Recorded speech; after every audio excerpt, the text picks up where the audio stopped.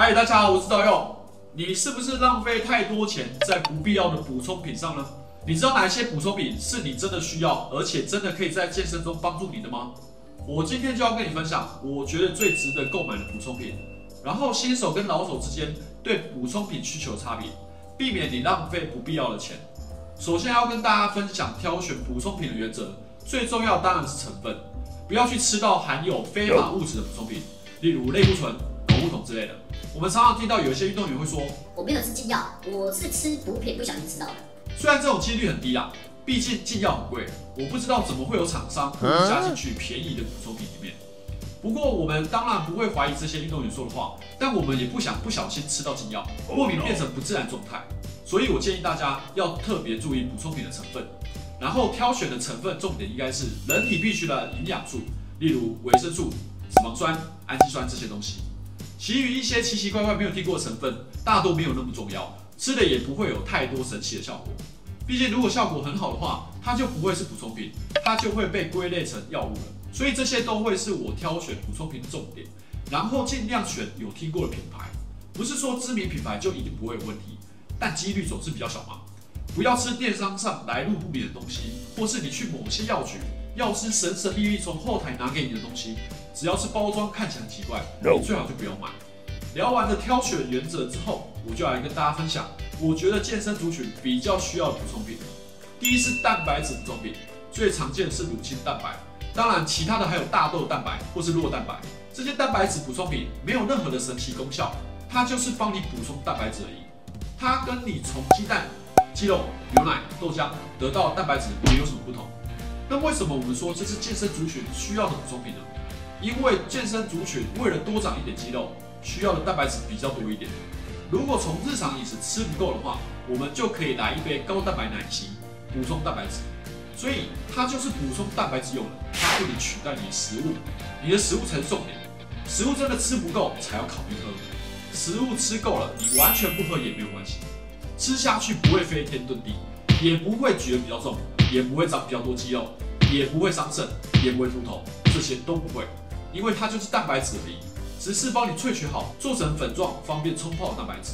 第二个健身族群可以使用补充品，肌酸。肌酸已经被无数的研究证实，可以有效增加力量跟训练的续航力。甚至有一些研究发现，补充肌酸好像还会对大脑有益处。肌酸一样可以从肉类取得，不过就像蛋白质一样，食物中吃不够的，我们可以从补充品补充。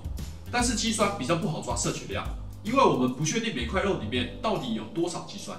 所以我比较偏向透过补充品来摄取。那肌酸种类那么多，我们该选什么？我最推荐最一般的水合肌酸，因为它很便宜，小小一包几百块就可以吃大半年。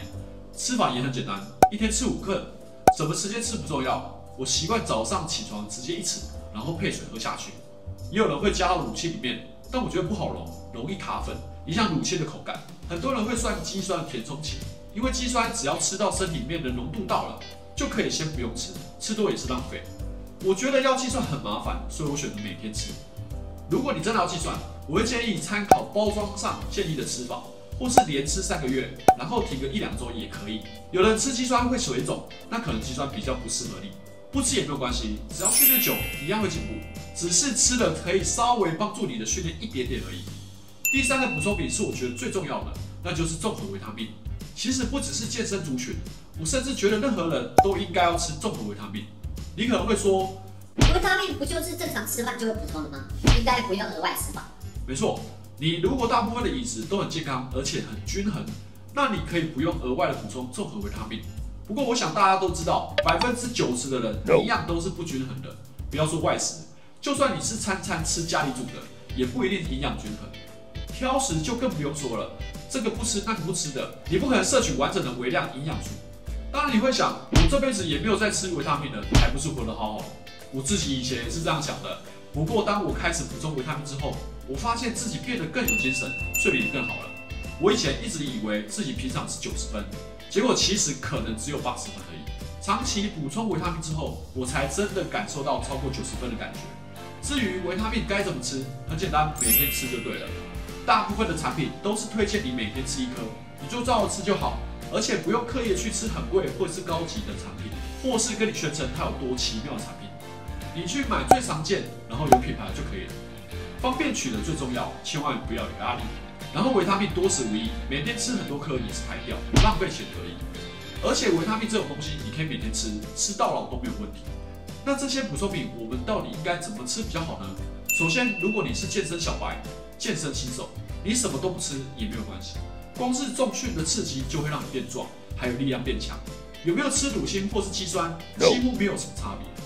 你不如把钱省下买教练课或是健身房会籍，还比较实在一点。真的要吃，我觉得综合维他命还比较重要一点。毕竟这是你身为人就需要的微量营养素，有没有健身都应该要补充。那如果是中阶训练者，例如已经规律训练两到三年，身材跟运动表现都有一定的水准，那上述这些补充品你都可以考虑补充，特别是肌酸，真的很难从食物中补满，你可以考虑额外摄取，而且肌酸真的都不贵，是我很推荐的补充品。最后是高阶的训练者。你可以考虑更多非必要，但是可以帮你再突破一点点的补充品，像是镁、D 三、鱼油等，这些都是可以帮你恢复的补充品。毕竟高阶训练者的训练量更大，强度更高，他们需要更多额外的手段来增加恢复。在考虑只使用天然手段的情况下，这些补充品都是不错的选择。最后跟大家宣传一下，五月四号到五月六号，My Protein 的黄金周活动好评再延长。一样全站四折起，还有限量的黄金周商品，大家可以参考看看哦。那我们今天的影片就到这边，如果觉得我们的影片有帮助，也欢迎加入频道会员，或是点击下方的超级感谢，支持我们做更多的影片。喜欢影片的话，也请帮我按赞、分享、订阅，也可以按下订阅旁边的小铃铛，这样就可以在第一时间收到新影片的通知。也可以发到我的 IG 跟 FB，我们就下期见喽，谢谢大家，拜拜。